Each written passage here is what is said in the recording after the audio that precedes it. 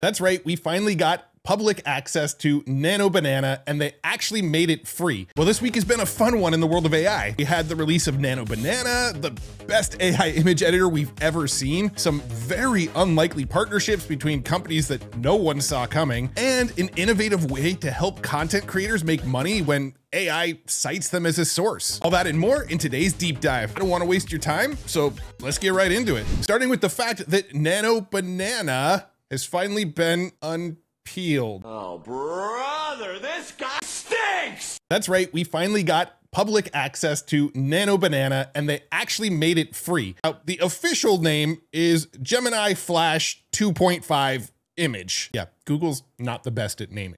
So pretty much everybody still just calls it Nano Banana. Now, this isn't the first time I talked about Nano Banana. It's not the second time I've talked about it. It's actually the third time. And I've showed off a lot of examples already of what this image model is capable of. But since I showed those off, there has been so many other cool use cases that have popped up that I want to share with you.